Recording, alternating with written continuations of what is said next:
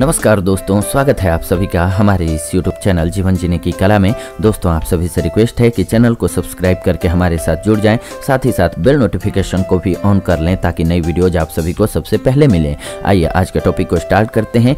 जानते हैं आज के इस एपिसोड के माध्यम से कैसे भावनाओं से संचालित होते हैं शारीरिक अंग। जी हाँ भावनाओं का हमारे शरीर पर असर होता है, इसी को जानते हैं आज के इस एपिसोड के माध्यम से।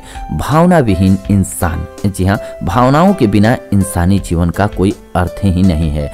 ऐसा इंसान जिसके दिल में प्रेम या सहानुभूति जैसे जज्बात नहीं है, उसे एक जीवित शव की संज्ञा दी जाए तो गलत नहीं होगा। हमारा शरीर और मस्तिष्क बहुत हद तक एक दूसरे के साथ मिलकर कार्य करते हैं। यही वजह है कि हमारी भावनाएँ हमारे शारीरिक अंगों को अलग अलग तरह से प्रभावित करती हैं। मस्तिष्क और दिल का रिश्ता सबसे पहले समझते हैं इस कड़ी में। वैज्ञानिकों के अनुसार हमारा मस्तिष्क, हमारा दिल लगातार एक दूसरे के संपर्क में रहते हैं।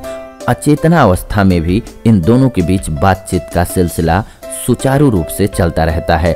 इनके बीच होने वाला वार्तालाप ज़्यादातर मनोभावों पर ही आधारित होता है। यह मनोभाव किस तरह के हैं, ये मस्तिष्क की कार्य प्रणाली को प्रभावित करते हैं। इसके बाद नंबर आता है, अव्यवस्थित हार्मोन। जी हाँ मसलन, अगर आपका दिल सकारात्मक नकारात्मक भावनाओं को सिग्नल के तौर पर मस्तिष्क तक पहुँचा रहा है तो आपके हार्मोन ज़्यादा लयबद्ध, नियमित और सुव्यवस्थित होते हैं। वहीं अगर यह मनोभाव नकारात्मक है तो हार्मोन अनियमित और अव्यवस्थित तरीके से शरीर में स्ट्रेस बढ़ा देते हैं। इसका दुष्परिणाम क्या होता है? दरअसल, आपके भीतर नकारात्मक भावनाओं की संख्या जितनी ज़्यादा होती है, आपका शरीर उतना ही कमज़ोर होता चला जाता है। अगर आप किसी बात को लेकर के शर्मिंदा हैं, प्रतिशोध लेने की कोशिश कर रहे हैं या किसी भी प्रकार के गिल्ट में जी रहे हैं तो यह आपके शरीर को अत्यधिक तेज़ी से प्रभावित करते हैं। अगर आपके अंदर नकारात्मक मनोभाव हैं तो इससे आपका चेहरा, आपके बाल और साथ ही साथ बाहरी व्यक्तित्व भी इसके दुष्परिणाम को झेलने लगता है। नकारात्मक मनोभाव बीमारियाँ लाते हैं। जी हाँ इसके अलावा शोक, भय, क्रोध और नफरत जैसी भावनाएँ भी आपके शरीर को कमज़ोर करती हैं, जिसकी वजह से आपकी रोग प्रतिरोधक क्षमता कम हो जाती है और आपका शरीर जल्दी ही बीमारियों की चपेट में आ जाता है। आप कम उम्र में भी खुद को काफ़ी अधिक महसूस करने लगते हैं, यानी कि अधिक उम्र वाला समझने लग जाते हैं। अब तनाव का दोष प्रभाव जान लीजिए। अगर आप लंबे समय से किसी भी प्रकार के तनाव से गुजर रहे हैं, या फिर एक लंबे दौर से आप सिर्फ़ और सिर्फ़ नकारात्मक विचार ही रख रहे हैं तो इसका असर आपके शरीर के महत्वपूर्ण अंगों, जैसे कि किडनी, लीवर पर पड़ता है।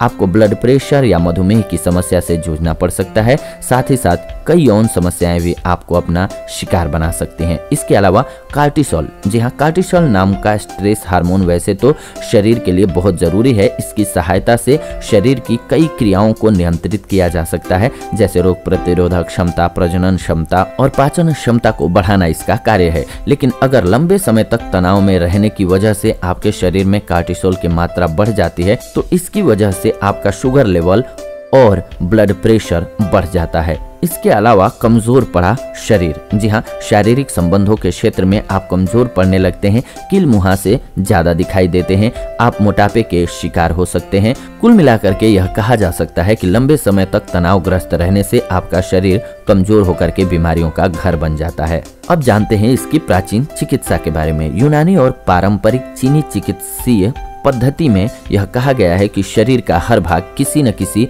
विशिष्ट भावना से जुड़ा हुआ है, जिसकी वजह से वे संचालित होते हैं। जी हाँ भावनाओं से जुड़े हैं हमारे अंग। उदाहरण के लिए आपका दिल खुशी और गम जैसी भावनाओं पर चलता है।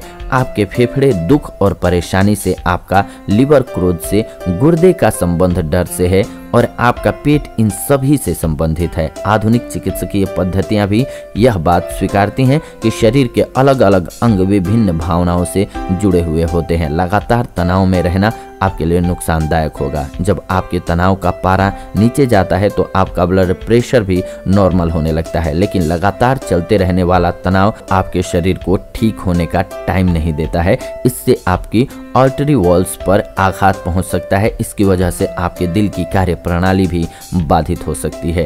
तो ये थी आज की जानकारी आप सभी के लिए, जो कि शारीरिक भावनाओं से रिलेटेड थी। मिलते हैं आप सभी से अब नए एपिसोड में नई जानकारी के साथ। तब तक के लिए धन्यवाद। नमस्कार दोस्तों।